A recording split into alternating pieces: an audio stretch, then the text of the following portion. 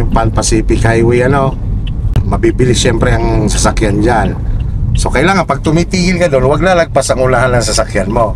Ang ulang mo tinitingnan, kaliwa. Baka tama yan, ang paa mo naka-brake lang. Yan, observe mo na. Sige, bitaw-bitaw lang. Pakiramdam mo, stop mo na. Yan, kailangan natatanaw mo. Ibitaw-bitaw lang, galaw-galaw ka lang ng konti. Bitaw-bitaw mo na, yan, ganyan. Ibitaw-bitaw lang. Pakiramdaman lang yan. Okay, pasok. Pagpasok mo dito, tingin naman sa kanan. Wala, pasok. Kaliwa. Yan. Yan lang yun. Bago mo pasukin tong linya na to, tingin mo na talaga sa kanan. Tapos dyan, bandarian lang, kakaliwa naman tayo. Nakita mo yung papasukan ng tricycle. Tapos sumisingas yung tricycle. Pagka ganyan naman, dikit ka lang konti sa guhit, pero huwag ka lalagpas. Yan, signal na ikaw.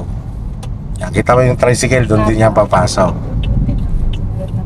Yan. Ah, pakiramdaman mo. Yan. Yan, pwede ka na sumunod. Yan.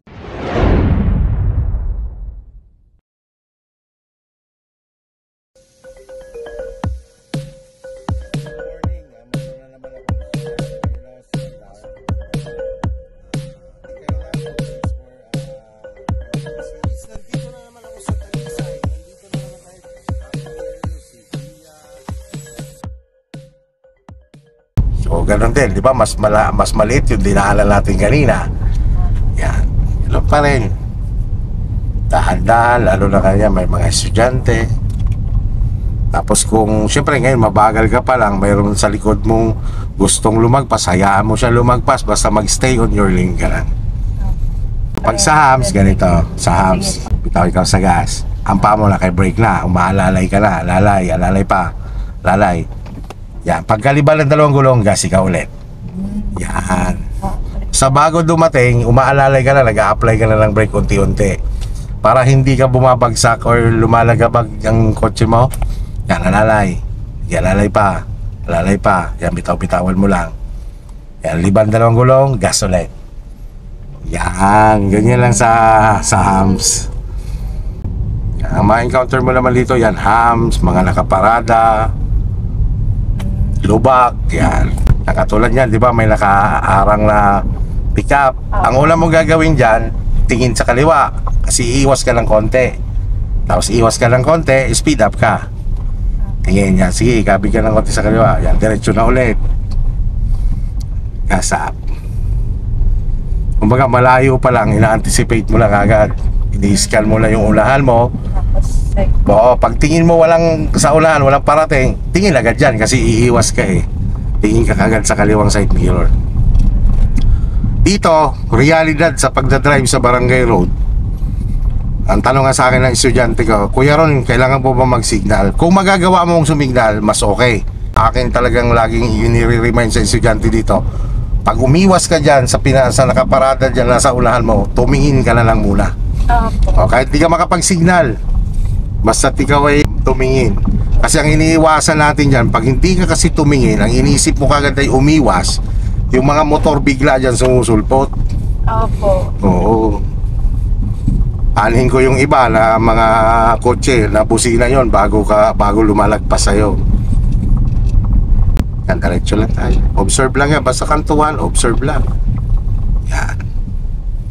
Kasi nga, yung katulad niyan, minsan iba, dire-diretso yan. Okay, so pagkatapos namin sa maluwag na kalsada, eto na kami sa Barangay Road.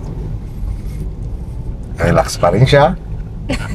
Katulad niyan, kontrolin mo lang sa sakyan mo. Okay, iwas lang ng konti. Balik lang ulit sa gitna manubela. Speed up ka ng konti. Yan. Para ka nag-arcade lang dito.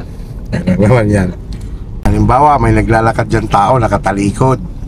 Opo. Siyempre, ang ating ginagawa sa ganyan, as a defensive driver, bumubusina. Tama? Oo, pero... Pero hanggat maaari, iwasan mo na lang. Kasi dito, sa probinsya, bumusina ka. Pre, yan yung tipong, ah, kalayo-layo, eh, nabusina pa. O, kaya ang gawin mo nun, ikaw na lang ang mag-adjust. Ang Katulad yan. Pakikiramdaman, layuan mo lang sila ng konti. Ayun nga po, pag wala naman Huwag mo na lang businahan, baka magulat. Yan po yung mga bata sa... Yan, ganyan, dandahan ka lang talaga. Opo. Iiwasan mo sila. Yan, titingnan mo sila. Kaya katulad yan, kung may pagkakataon na makasignal, okay lang. Yan, stop ka muna. Yan, huwag kang didikit sa kanya. Ah. Okay. Abig. Yan. Bawi. Yan. Malayo pa lang. Iwas na ikaw. Para konting kabig lang. Yan, di ba? Konti lang kabig. O kung dumikit ka dyan, malaki kakabigil mo nun para hindi siya tamaan. Yan, yan mo lang yung mga ganyan. Medyo sanay na sila eh.